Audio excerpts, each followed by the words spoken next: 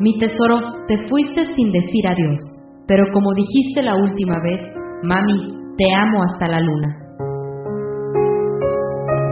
Yo creo que este espacio simbólico de la Plaza Emiliana de Subeldía, que ha sido testigo de muchos movimientos sociales y muchas expresiones eh, de, la sociedad hermosillense, de nuevo vuelve a, a ser un punto de encuentro.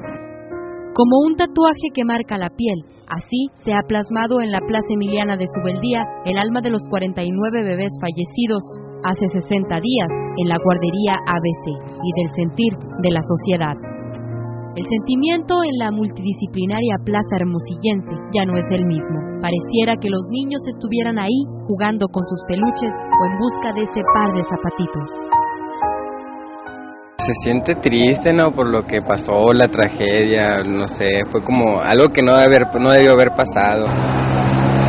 Entre el constante ruido de los vehículos y el transitar de decenas de personas sobresale la vibra, ese sentimiento para muchos inexplicable. Sí, vine a comprar unas cosas aquí al mercado de artesanías y me encontré amigo lo que había y vine a ver nada más. Ah. ¿Te puso la piel chinita? Sí, ¿me viste? Sí, hombre, es que seguramente quedó toda la energía ahí de, la, de los padres que han llorado. ¿Sabes? No sé cómo aguantaría algo así, ¿no? La verdad que no. ¿Nunca habías venido? No. Nunca. ibas pasando por aquí y te, llamó la atención ya? Sí.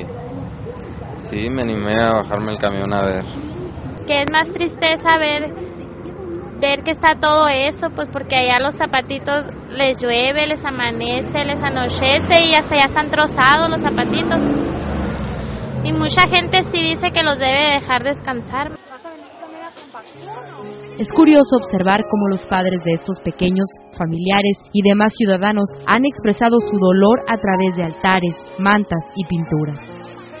La gente, como uno, como tú, como quienes están viendo, eh, el impacto fue tan enorme, pues que, que en distintos niveles, pero creo que todos, y creo que eso este, lo vivimos de forma cotidiana, que todos sentimos una necesidad de expresar lo que estábamos sintiendo, ya sea el hecho nada más de ir a poner una vela o de amarrar un listón.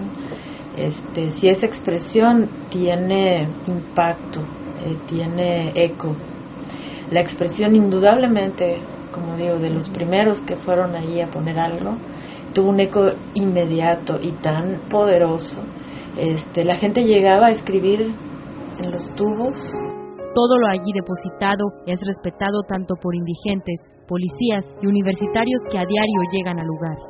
Sin duda, las almas de estos angelitos juegan alrededor del hermosillo flash y toca el corazón de los que a diario hacen un alto en el cruce más transitado de Hermosillo.